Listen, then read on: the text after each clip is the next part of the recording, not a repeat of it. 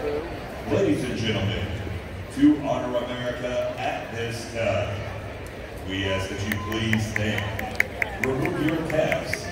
and join Top Shelf in the singing